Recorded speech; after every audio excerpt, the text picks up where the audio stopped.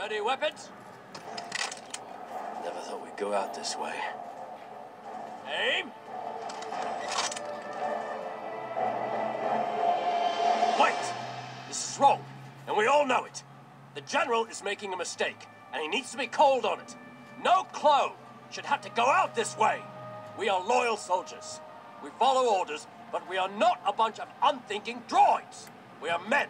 We must be trusted to make the right decisions, especially when the orders we are given are wrong. Fire!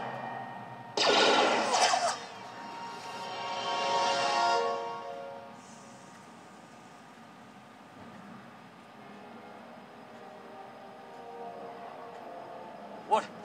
What happened? They're doing the right thing, Dogma. Because if this is how soldiers are rewarded for heroic actions, then one day, every man in this battalion may face a similar fate. Take off their binders. No, we have orders.